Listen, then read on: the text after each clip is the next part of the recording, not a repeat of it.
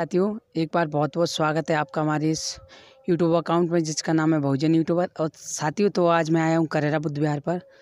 और आपको मैं बता दूँ, इससे पहले भी मैंने करेरा बुद्ध विहार पर एक वीडियो बनाया था चूँकि तब बुद्ध विहार बन के तैयार नहीं हुआ था, और अब बुद्ध विहार लगभग बन के तैयार हो चुका है। चौदह अप्रैल को इसका उद्घाटन हुआ था, जो माननीय यहाँ के विधायक जी हैं, जसवंत जाटव जी, उनकी द्वारा इसका उद्घाटन करवाया गया था। और चूँकि हम लोग मैं, अंजुल भैया और सन्नी भैया महू गए हुए थे। महू जाने के कारण मैं यहाँ पर नहीं आ पाया था और इसकी वीडियो नहीं बना पाया था और उस दिन से लेकर मुझे अभी तक लगभग टाइम नहीं मिल पाया था और मैं कोशिश कर रहा था कि मैं जा पाऊँ। अपने कुछ कारणों से मैं यहाँ पर नहीं आ पाया था। तो मैं आ गया हूँ तो सोचा इस पर वीडियो बनाई जाए। तो सबसे पहले आपको मैं बुद्ध विहार दिखा दे रहा हूँ, उसके बाद हम बात करते हैं। तो चलिए मैं आपको बुद्ध विहार बताता हूँ कि बुद्ध विहार कैसा है।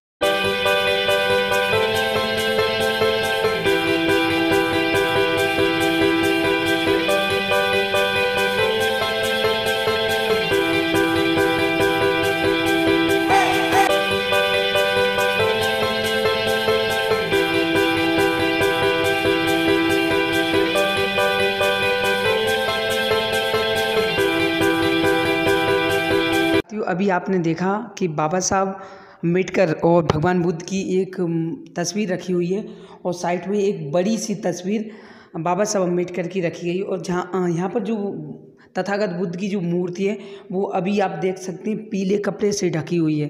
क्योंकि मैंने भंते जी से अभी बात की तो भंते जी बता रहे हैं कि अभी जो मूर्ति है ना, उसका उद्घाटन नहीं हुआ है। तो जैसे कि मैंने आपको बताया था कि जो बुद्ध विहार जो है अभी निर्माणाधीन है मतलब काम चल रहा है इस पर तो तथागत बुद्ध की जो मूर्ति है, उसका अभी तक उद्घाटन नहीं हुआ है। जिस कारण से अभी ये मूर्ति ढकी हुई है तो मैं आपको नहीं दिखा पा रहा हूँ। और साथियों, मैं आपको बता दूँ कि बुद्ध विहार जो काफ़ी सुंदर बुद्ध विहार हैगा और करेरा में, करेरा के लोगों के लिए एक बहुत बड़ी खुशखबरी भी है कि तथागत बुद्ध विहार जो करेरा में बन चुका है। बस समय इतना है कि जल्द से जल्द इसका उद्घाटन हो और हम सब लोग आकर तथागत बुद्ध की जो मूर्ति है उसके दर्शन कर तो मैं आपको बता दूँ, बाहर जो है हवा बहुत तेज़ चल रही जिस वजह से आप शायद आवाज़ जो है कम आ रही होगी। और चूँकि मेरे साथ बंते जी भी हैं, मैंने बंते जी से अभी बात की तो बंते जी बता रहे थे कि जो मूर्ति यहाँ पर रखी हुई है, उस मूर्ति का उद्घाटन जो है अठारह मई को होगा बुद्ध पूर्णिमा के। अठारह मई को होगा बुद्ध पूर्णिमा के दिन।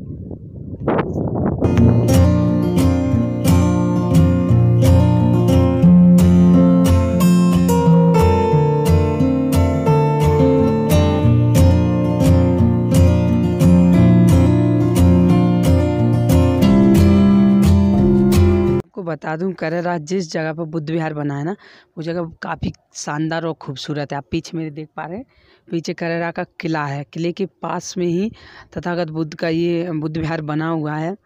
और जो मूर्ति की मैं आपको बता रहा था, जो भगवान बुद्ध की जो मूर्ति अंदर रखी हुई है, उसका उद्घाटन जो है, बुद्ध पूर्णिमा के दिन होने वाला है। तो आप यदि करेरा से हैं तो अभी से मैं आपको बता दे रहा हूँ कि अठारह तारीख को जब बुद्ध पूर्णिमा पड़ेगी तो उस दिन इस मूर्ति का उद्घाटन होगा तो आप ज़्यादा से ज़्यादा संख्या में पहुँचें यहाँ पर। बिहार की जितनी तारीफ़ की जाए, मेरे हिसाब से बहुत कम होगी, क्योंकि लगभग मान लीजिए कि सीपरी ज़िले का सबसे सुंदर बुद्ध विहार है ये। और चूँकि अभी इसकी मूर्ति का जो उद्घाटन नहीं हुआ है, जल्दी इस मूर्ति का जो उद्घाटन हो जाएगा इसके बाद जब ये दर्शन करने के लिए ये खोल दी जाएगी भगवान बुद्ध की मूर्ति तो काफ़ी सुंदर होने वाला है। और शायद आपको मेरी आवाज़ साफ़ नहीं आ रही हो, क्योंकि ये क्या है, थोड़ा ऊंचाई पे बना हुआ है, जिस वजह से यहाँ पे हवा बहुत चलती है। पिछली वीडियो भी जब मैंने आपको बत, बनाई थी यहाँ की तो अब मैं आपको बता दूँ, उस वक्त भी बहुत हवा चल रही थी, जिस वजह से थोड़े आवाज़ जो साफ़ नहीं आ पाई थी। और अगर आप वो वीडियो देखना चाहते हैं तो आप मेरे डिस्क्रिप्शन में जाके वो वीडियो देख सकते हैं। मैं उस वीडियो को आपको डाल दूँगा। और आज का ये वीडियो कैसा लगा? और तथागत बुद्ध का जो बुद्ध विहार है, वो आपका कैसा लगा? कमेंट कमेंट सेक्शन में ज़रूर बताइएगा। और बहुत बहुत धन्यवाद। आप जो हमसे जुड़े